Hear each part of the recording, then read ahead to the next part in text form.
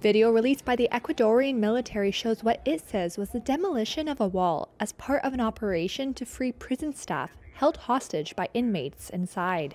And the SNAI prison agency on Saturday said all hostages had been freed. SNAI said 158 guards and 20 administrative staff had been seized since last Monday in several prisons. This footage from Saturday shows an unnamed officer telling family members of the hostages about the successful release. Dear family members, the National Police, together with the armed forces, have freed the hostages. They have been deprived of their freedom for six days. They will be handed over to families. They have received a medical checkup. There has been no issue. This is a joint effort. The incident is part of an escalating security crisis in the country that worsened this week. Gunmen stormed a TV station on air. Unexplained explosions were set off in several cities, and police officers were kidnapped. The government declared a state of emergency last week and said that so far more than 1,000 people have been arrested. Ecuadorian soldiers were patrolling at the shared border with Colombia on Saturday as part of the operation.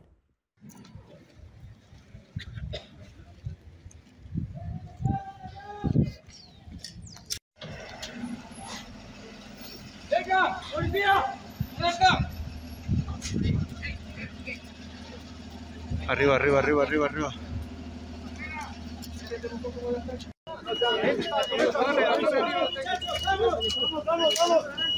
Vamos, vamos.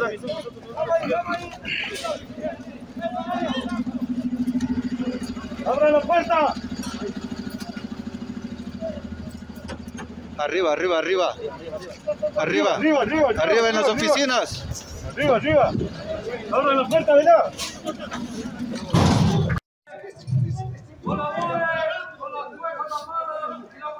¡Habla! ¡Habla!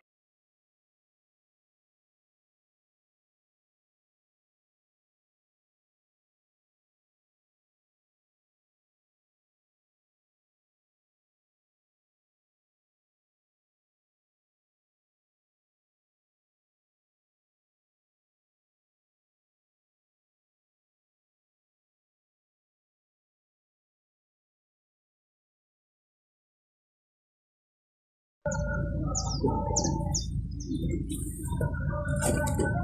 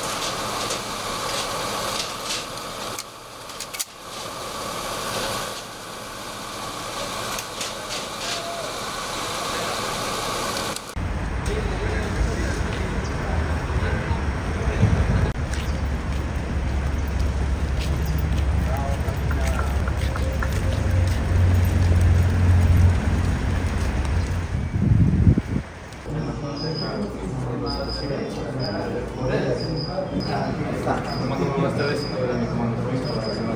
Comando, buenas tardes.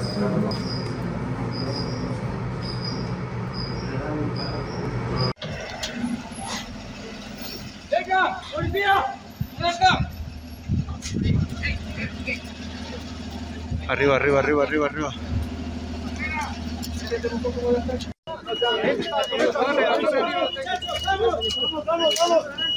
Vamos, vamos, vamos.